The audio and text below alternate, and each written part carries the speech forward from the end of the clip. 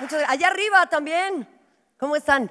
Muchas gracias por venir. Me siento muy honrada de poder estar en esta eh, bellísima región de la República. Se come espectacular, la gente es increíble, qué bonito este lugar. Y la verdad es que eh, vamos a hablar de un tema que es muy interesante y que está de moda. Y qué bueno que esta clase de temas estén eh, de moda. Pero para que podamos entender algunos conceptos básicos para que podamos partir de una misma base. Bueno, pues me puse un poquito teórica, así que vamos a arrancar con la presentación, si me hacen eh, favor.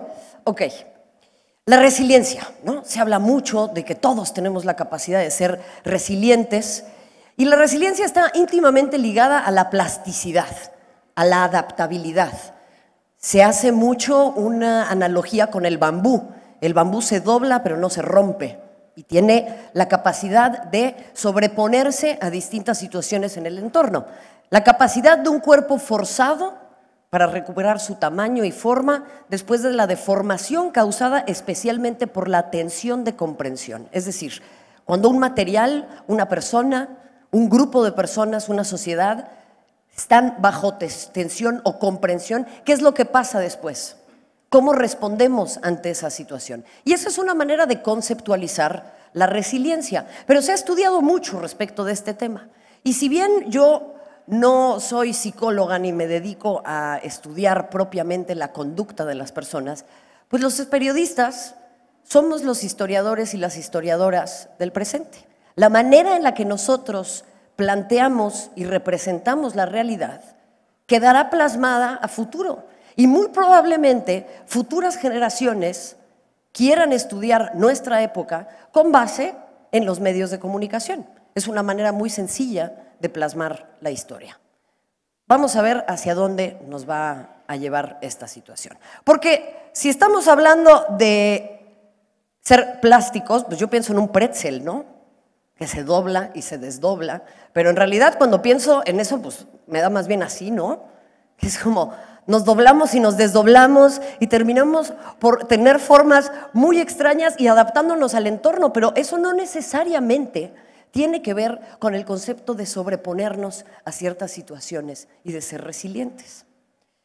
Y acá van a venir algunos conceptos que ustedes van a decir, pero permítanme elaborar, porque para eso tengo mis preciados 18 minutos aquí. John Stuart Mill fue una persona que se dedicó a estudiar las conductas, pero particularmente la posición de las mujeres en la sociedad a finales del siglo XVIII.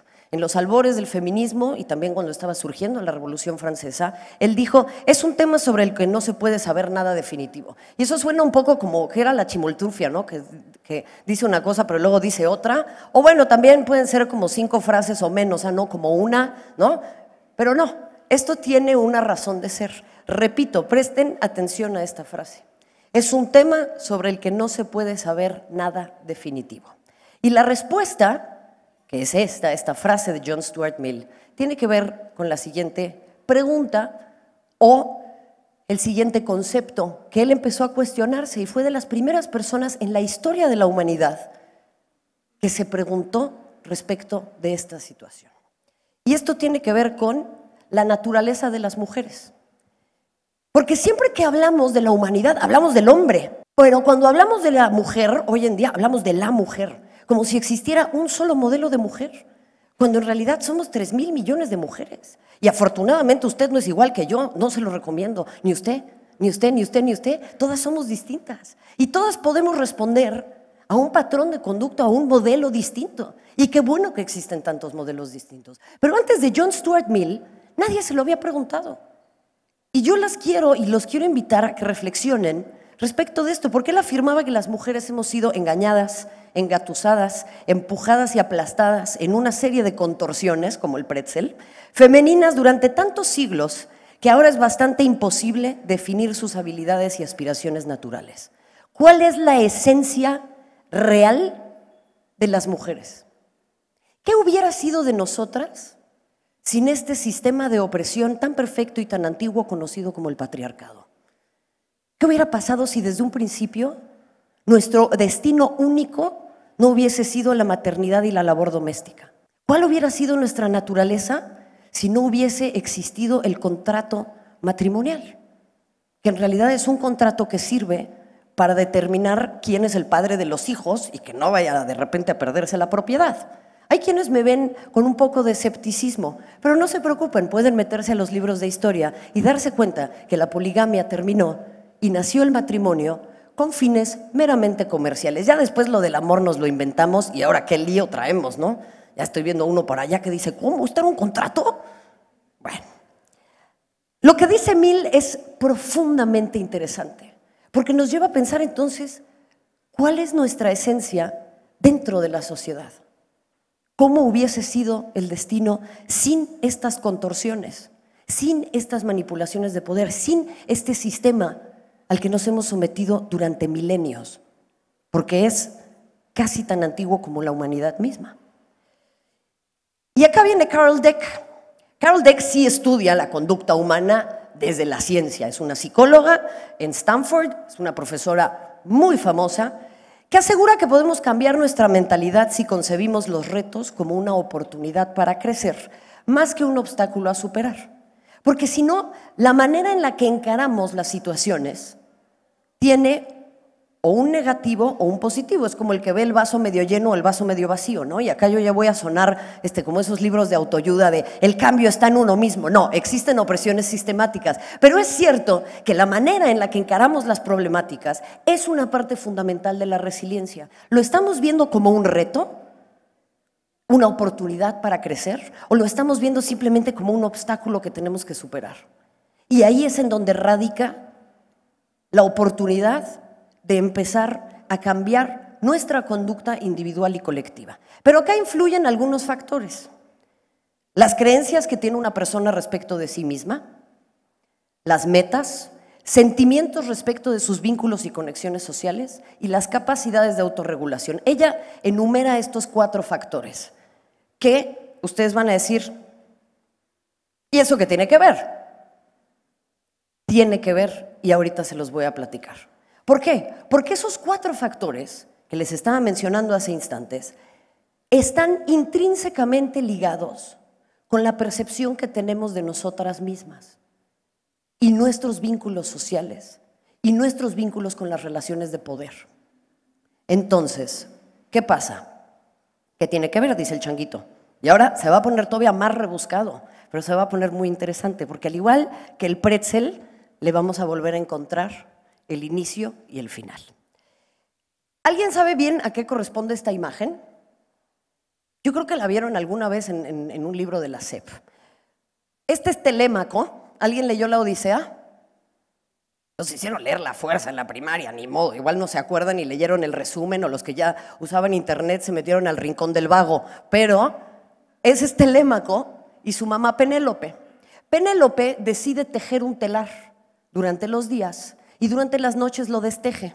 ¿Por qué? Porque mientras Odiseo se fue de viaje, en este larguísimo viaje para pelear en la batalla de Troya, a Penélope vienen a cortejarla a otros hombres. Y entonces Penélope, que no es nada tonta, les dice, está bien, nos vamos a casar cuando yo termine este telar. Y Penélope durante el día está tejiendo y en la noche desteje. Y entonces el telar es eterno. Y mientras ella está tejiendo y destejiendo este telar, Telémaco, su hijo, que es un chamaco de 13 años, imberbe como todos somos a esa edad, está abajo con unos músicos y los músicos están tocando canciones muy tristes. Penélope baja y le dice a Telémaco y a los músicos que si pudieran tocar algunas melodías más alegres, porque ella está extrañando a Odiseo y se pone triste. Y Telémaco le responde, Madre mía, Vete adentro de la casa y ocúpate de tus labores propias, del telar y de la rueca. El relato estará al cuidado de los hombres y sobre todo al mío. Mío es pues el gobierno de la casa. Tiene 13 años. ¿Qué le pasa? Chamaco imberbe. Lo interesante de esto es que Mary Bird en su libro Mujeres en el Poder menciona este episodio como el primer episodio registrado del silenciamiento de una mujer del discurso público o privado. Y a raíz de entonces, yo no sé si ustedes lo han notado, pero en la política, en el periodismo, en el deporte y en la antigua Grecia, en la polis, por ejemplo, los debates públicos eran detentados por hombres. Y este, esta frase, el relato estará al cuidado de los hombres y sobre todo al mío, se refiere a que la voz pública, la voz del discurso, la voz de las historias, la voz de las protagonistas será silenciada y será históricamente detentada por una sola parte de la sociedad. Por eso yo les decía que esto es casi tan antiguo como la vida misma, pero eso no lo justifica, porque ya no vivimos en las cavernas, ¿verdad? ¿O a poco usted sigue cuidando el fuego en su casa? Pues no. Acá tampoco veo que alguien vaya a cazar un bisonte. Entonces, así como han evolucionado las conductas humanas, también tenemos que evolucionar nosotros. Y otra vez, como el changuito, veo muchos diciendo, ¿esto de qué tiene que ver? Estamos en 2016. Yo me dedico a hablar de deportes y yo quiero que me digan qué diferencia tiene esto con el discurso de Telémaco a su mamá. Ya tiene que ver, ¿no? Ah, Dios bendito, porque si no ya me voy, me retiro, le regreso su dinero. Ya bueno, malas palabras, me disculparán, pero pues así se maneja el mundo de Internet. Y hoy en día pues ya me da risa, ¿no? Pero al igual que mandar a Penélope a trabajar con el telar y con la rueca, diciendo que sus opiniones son irrelevantes porque el discurso será detentado por los hombres, es esto, ¿eh? El divo de Tepito igualito a Telémaco, yo creo que también tiene como 13 años. ¿A dónde apunto con este tema? Básicamente, esto es lo que nos han dicho históricamente, ¿no? Se ríen porque es verdad, se ríen porque es verdad y está bien. Pero llevemos el tema un poco más allá. Y con ello quiero volver al asunto de la resiliencia. La resiliencia se descubre después de los hechos, cuando atravesamos una situación que nos doblega, cuando el bambú se dobla y de repente vuelve y no se quebró, ahí es en donde descubrimos que el bambú es resiliente. Ahí es en donde descubrimos la, auténtica plasticidad. No encaramos las situaciones diciendo, ah, mira, qué resiliente soy. No, si no la vida sería muy fácil. Sino es una experiencia que entendemos hasta después. Y ahí es en donde yo quiero que me acompañen a entender esta parte del discurso público que es muy compleja el deporte y el deporte espectáculo es probablemente una de las industrias más lucrativas del siglo XX y del siglo XXI junto con el cine e Internet. Es una parte sustancial de la vida pública. El que las mujeres pretendan insertarse en el deporte no es únicamente una cuestión de capricho, es una cuestión que tiene que ver con la participación de la vida pública. ¿Quién de aquí sabe quién es el chicharito? Alcen la mano, por favor. Bueno, hasta se saben el color de su... no sé de qué color trae el pelo ahorita. Eh, pero ¿quién sabe quién es el encargado de la Secretaría de Cultura en eh, la Cámara de Diputados? Eso nos habla del poder del deporte y de la importancia que tiene en la vida pública. Y para las mujeres el insertarnos dentro de ese discurso, no únicamente como periodistas, sino también como protagonistas, tiene un doble reto y es doblemente resiliente. ¿Por qué? Porque primero hay que insertarse a la práctica deportiva y posteriormente hay que aparecer en las narrativas tradicionales. Porque no basta únicamente con ser muy buena, sino necesitamos del aval de los telémacos del presente para poder figurar en esas narrativas de éxito. Entonces, teniendo en cuenta el poder mediático de esto, les quiero poner algunos ejemplos históricos. Aquí están las mujeres peleando por entrar a los estadios en Irán en 2019. Las mujeres no pueden entrar a los estadios de fútbol. Una chica se disfrazaba de hombre para entrar, la descubrieron, la, castigaron, la sentenciaron seis meses a la cárcel y se inmoló afuera del tribunal y falleció. Catherine Switzer, la primera mujer en correr el maratón de Boston de manera oficial en 1968. Cuando la descubrieron, la quisieron aventar afuera de la carrera. México 71, la única selección mayor que ha llegado a una final de Copa del Mundo, perdiendo con Dinamarca tres goles a cero. Y la mayoría de los mexicanos y las mexicanas no las conocen. Serena Williams regresó después de un embarazo de altísimo riesgo, casi se muere, se puso ese traje para jugar en Roland Garros y de lo que se habló fue de su traje y no de sus logros deportivos. Todas estas historias son de una resiliencia doble. El participar, el insertarse en ese mundo tan complejo y posteriormente figurar en la narrativa tradicional. ¿Y a qué voy con esto?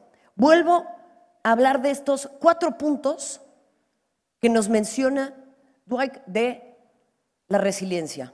Las creencias que tiene una persona respecto de sí misma, sus metas, sentimientos respecto de sus vínculos y conexiones sociales y capacidades de autorregulación.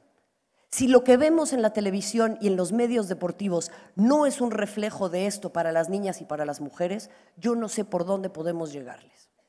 Es un mensaje poderosísimo el estar y el no estar. Y entonces, acá hay algunas preguntas que yo les quiero hacer. ¿Cuáles son los discursos que reproduce el periodismo? ¿Qué es lo que vemos constantemente? Las historias que no existen, y pongo que no existen entre paréntesis, porque nosotros decidimos cuáles existen o no. Bueno, no, nosotros no. Los telémacos del presente y del futuro deciden qué historias existen y cuáles no. E visibilizamos e invisibilizamos a través de esta lectura. ¿Cuáles son capaces de alimentar a una sociedad que está ávida de resiliencia? Porque necesitamos mayor plasticidad, necesitamos plasmar esta clase de discursos. ¿Y cómo lo hacemos? con esta clase de ejemplos que además hablan de la lucha contra las opresiones. Una mujer afrodescendiente de Compton en un deporte históricamente racista, literalmente es el deporte blanco. Es una historia mágica. ¿Cómo vamos a narrar lo inenarrable? Bueno, hay que proveer de nuevas preguntas. Y a mí me parece que ustedes como audiencia tienen que empezar a proveerse también a sí mismas y a sí mismos de nuevas preguntas porque este es un contexto muy demandante y de mucha censura y autocensura. Porque al Telémaco decirle eso a Penélope y el divo de Tepito decirme eso a mí, nos orilla a autocensurarnos. Y eso influye en los cuatro factores que les enseñé anteriormente, la confianza en nosotras mismas, nuestros vínculos sociales, la importancia que le damos a nuestra presencia en el mundo, ¿Qué emociones y valores buscamos reproducir desde el discurso hegemónico del deporte? El deporte son puras emociones. Pero ¿qué emociones reproducimos ahí? ¿La resiliencia o el odio o la violencia o el ellos y el nosotros o el compañerismo, el trabajo en equipo? ¿Qué, está, qué, qué discurso está permeando aquí? ¿Cuáles son los cantares del presente? Y acá es muy importante algo que quiero compartirles, que es un concepto que he desarrollado que se denomina la pornomiseria. Juanita se levanta todos los días a las cuatro y media de la mañana, no tiene piernas, pero sueña con ser atleta paralímpica, se sube a un autobús que no tiene la capacidad de recibirla adecuadamente y va con un bote pidiendo dinero para poder ir a su competencia. ¿Por qué no en vez de ensalzar la miseria y romantizar la pobreza, cuestionamos ¿Cuáles son las condiciones de desigualdad para que Juanita tenga que atravesar esa clase de situaciones? ¿Qué historias de resiliencia vamos a contar? Pero hay que contarlas de manera muy inteligente y hay que consumirlas de manera todavía más inteligente. Ustedes, el público, ustedes los consumidores, ustedes las protagonistas, tienen una enorme capacidad para enaltecer este discurso y esta resiliencia que en este tiempo es tan necesaria. ¿Qué consumimos? ¿Qué estamos viendo? Entonces, esto no puede convertirse en el combustible de las historias. Tenemos que pensar en formas de resolución que no sean el fetiche de la herida. Pasa con la Liga Femenil en México. Ay, mira cómo no les paguen. Ay, mira, está bien. Pero ¿por qué no hablamos también de lo que hacen bien? Tenemos que dejar de romantizar tanto la miseria y empezar a pensar en cuáles son las condiciones estructurales que llevan hasta estas situaciones. Y me permito cerrar entonces, para quienes vieron Aventuras en Pañales o Rugrats, la mamá de Angélica que dice, si Angélica va a triunfar en una estructura de poder dominada por los hombres, tiene que comer, respirar, beber y sudar autoestima. Y en ese caso yo les diría también resiliencia. A través de nuestros cantares tenemos que dejar de silenciarnos, porque si no vamos a seguir tejiendo y destejiendo este telar a perpetuidad. Muchas gracias.